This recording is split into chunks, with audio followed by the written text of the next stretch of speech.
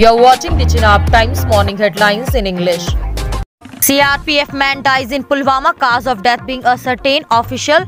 A Central Reserve Police Force CRPF head constable died in South Kashmir's Pulwama district on Friday morning while cause of death is being ascertained.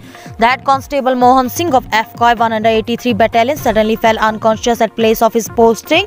He was immediately rushed to the district hospital Pulwama by his colleagues where doctor declared him as brought dead, official said.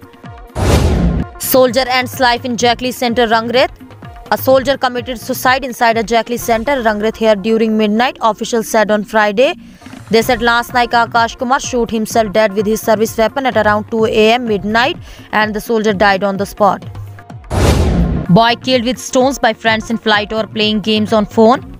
A 12-year-old boy was bludgeoned to death with stones allegedly by his two friends in Odisha's Koraput district after he refused them to play video game on his phone. Police said the incident happened on Thursday in Masiput village where the three boys were playing video games near the school, they said. Sarpanch shot dead in Patan. Unknown gunmen shot dead an independent Sarpanch in an orchard at Goshbagh village of Patan in North Kashmir's Baramulla district on Friday evening.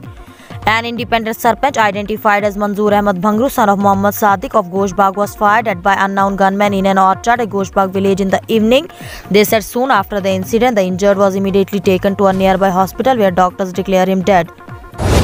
Imran Khan seeks donation from overseas Pakistanis to topple new government. Ousted Prime Minister of Pakistan Imran Khan on Friday appealed to the overseas Pakistani to donate money to his Pakistan Tehreek-e-Insaf PTI party in order to topple the foreign-backed government of Shehbaz Sharif. Students told to clean rooms, toilet in Kulgam Government School.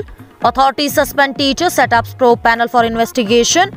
A teacher posted a government middle school tension in Yaripura village of Kulgam is allegedly forcing students to do manual job at the school, prompting the authorities to suspend him.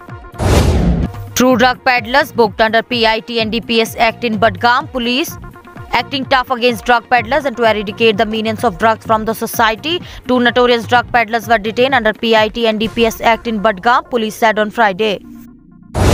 Bukhari seeks implementation of Mandal Commission report, regularization of daily wages, demand restoration of statehood democratic process in Jammu Kashmir. Apni Party President Syed Mohammad Altaf Bukhari on Friday appealed to the Prime Minister Narendra Modi to implement Mandal Commission report in favor of other backward class OBC community and regularize all the daily wages in Jammu Kashmir. And serious 7.59% inflation in Jammu Kashmir Ask government to provide breather to people during ongoing Ramzan and ensuing Eid festivity.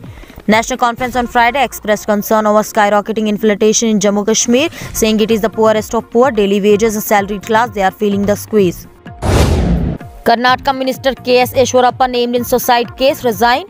BJP stalwart and Karnataka Minister K.S. Eshwarappa caught in a huge controversy following allegations of corruption and a rule in a suicide of contractor has resigned from his cabinet post. After a meeting of his Chief Minister Basavaraj Bommai at his residence in Bangalore, Mr. Eshwarappa submitted his resignation.